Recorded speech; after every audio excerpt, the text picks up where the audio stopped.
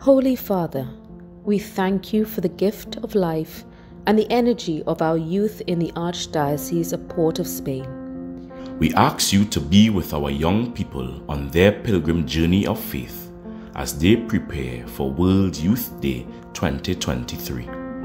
Give them the grace to prepare their minds, hearts, and bodies for the journey ahead.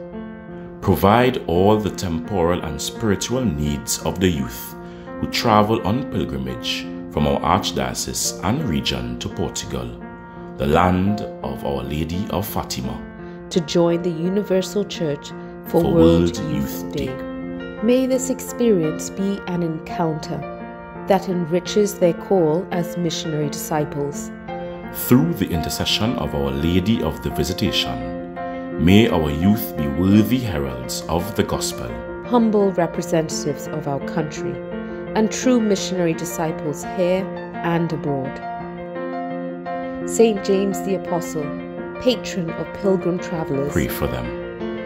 Blessed Pier Giorgio Frassati, man of the Beatitudes and patron of young adults. pray for them. St. John Paul II, patron of World Youth Day.